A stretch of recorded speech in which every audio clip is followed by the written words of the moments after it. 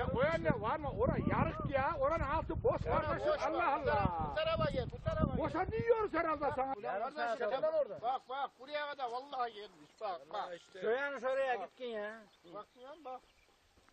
Bak. 80 metre falan var herhalde taban derinliği. Bak ta buraya da gelmiş. Bak bak bak bak. bak. Metre diyeceğim ya. Bir, iki, üç, dört, beş, altı, yedi, sekiz, dokuz, on. Komple yarılmış. Çökme ihtimali yüzde seksen bak. Bölgeler komple. Bak. Bak kardeşim şuralara bir bak ya. Şuraya kadar gelmiş bak. Bak bak bak. bizim buyurun orada. Bu yanına gidecek. Şu yanına da gitkin. Sen fazla yanaşıyorsun ya.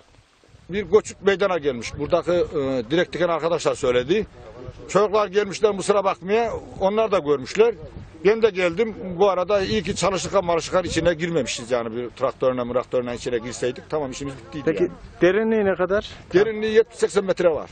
Çap olarak düşündüğümüzde. Çap olarak da işte herhalde e, 10'a 10 olunca 100 metre kare olur. Evet. O arada bir sınır yani. Dün herhangi bir şey yoktu. Ama bugün burada aynı güzergah yol olduğu için yoldan geçerken burada opanı gördük. Herhangi bir can güvenliğimiz yok. Allah esirgesin biz geçerken içine düşmemişiz.